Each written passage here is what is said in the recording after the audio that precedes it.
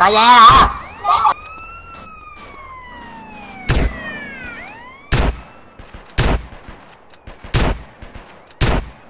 tới đâu rồi tới đâu rồi?